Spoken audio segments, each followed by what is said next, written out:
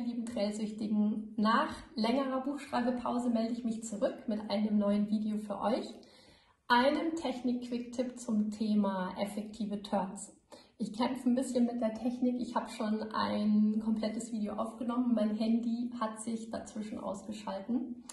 Jetzt ähm, fange ich nochmal von vorne an. Effektive Turns ist ein super wichtiges Thema für mich als Hundeführer, damit ich mich sicher darauf verlassen kann, dass mein Hund auch dreht und sich auf die frischeste Spur zurückarbeitet. Wenn er zum Beispiel eine ältere Spur checkt von der vermissten oder versteckten Person oder zum Beispiel eine zweite Person frisch über den Trail drüber gelaufen ist, dann gucken unsere Hunde sich das ja gerne an, dürfen sie ja auch, müssen aber dann sich auf die frischeste Spur zurückarbeiten. Und da passieren häufig einige Fehler, zum Beispiel, dass der Hund das gar nicht zeigt, dass er drehen möchte oder er leitet den Turn ein, zieht aber die neue Richtung nicht richtig durch. Der bleibt dann zum Beispiel, er dreht und bleibt dann zum Beispiel in der Kreuzung hängen. Schnüffelt, pieselt oder dreht einen Kreis um mich rum oder geht sogar erstmal noch in eine andere Richtung und zieht den Turn nicht richtig durch. Mm, damit verliere ich natürlich Lesbarkeit und das verunsichert mich als Hundeführer auch, wenn ich nicht weiß, der Hund dreht und ich weiß nicht, ja, wo geht es denn jetzt lang. Was du da machen kannst als Hundeführer, gibt es einfache Tricks, das zeige ich dir jetzt gleich anhand von ähm, Video-Stills. Ich bringe dich mal hier näher hin. Ähm, wir starten hier mal mit Bild Nummer 1. Der Trail geht eigentlich hier nach links in diese Richtung. Der Hund checkt hier eine Spurdifferenzierung, nimmt Tempo raus, kommt hoch. In dem Moment ist es ganz, ganz wichtig, dass ich als Hundeführer gerade stehen bleibe. Ich bleibe stehen und schließe die Hand, mache die zu einer Faust, also nicht ähm, hart werden, aber einfach ähm, zumachen. Bleibe gerade stehen und dann kommt der nächste Schritt.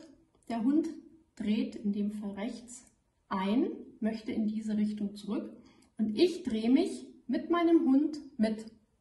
Das heißt, stellt euch vor, dass aus eurem Bauchnabel, aus deinem Bauchnabel kommt so ein, wie so ein Laserstrahl und der zeigt immer auf die Körpermitte des Hundes. Du drehst dich mit deinem Hund mit, der Bauchnabelstrahl zeigt zum Hund. Wichtig hierbei, weiche nicht nach hinten aus, Mach nicht quasi Platz für deinen Hund, sondern bleib gerade stehen, denn wenn du nach hinten ausweichst, ziehst du den Hund automatisch in diese Richtung rüber. Dann wird der hier eindrehen und zum Beispiel an dieser Ecke hängen und schnüffeln.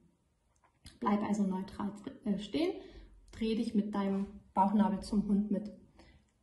Schritt Nummer drei, warte ab. Hier zeigt der Hund schon schön, in welche Richtung er möchte. Warte ab, bis er deutlich über diese Achse hier bei dir vorbei über, drüber getreten ist, übertreten hat, diese Achse. Und schließe dann erst zu deinem Hund auf. Wenn du hier zum Beispiel zu früh schon aufschließen möchtest, läufst du hier in Richtung des Hundes in den Hund rein und schiebst ihn auf diese Seite rüber mit deiner Körpersprache. Dann wird er hier entweder hier abbiegen oder hier schnüffeln und überlegen und hängen, weil du ihn gestört hast in der Arbeit.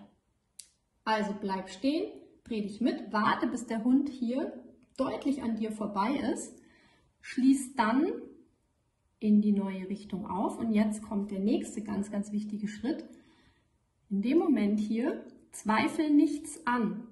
Richte dich auf, mach dich gerade, gib ihm Leine raus.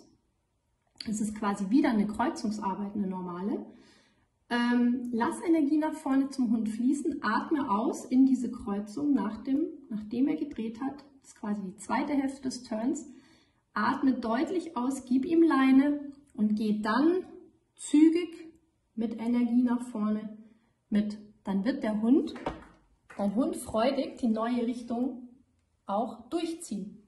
Wenn du das nicht machst, wenn du hier anzweifelst, Luft anhältst oder den Blick nach unten senkst, statisch bist, von deiner ganzen Körpersprache, dann bleibt er hier hängen, dreht einen Kreis, schnüffelt, pieselt oder so. Ne? Also wichtig, hier gerade stehen bleiben, Hand schließen. Hund dreht, dreh dich mit. Bauchnabel zum Hund. Warte hier die Achse ab, bis der Hund übertreten, diese übertreten hat.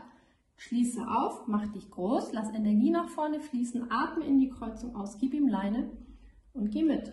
Dann wird der Hund freudig und selbstbewusst sagen, ja, hier geht's lang.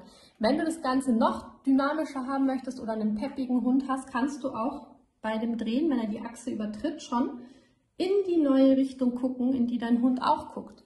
Mit der Blickrichtung quasi, das machen wir beim Reiten auch, also gerade beim Westernreiten. Ähm, mein Pferd äh, geht immer in die Richtung, in die ich gucke. Damit kannst du das nochmal unterstützen. Also probier das aus im Training. Du kannst mir gerne Kommentare hinterlassen unter dem Video, schreiben, wie es dir ergangen ist im Training. Und wir sehen uns beim nächsten Video.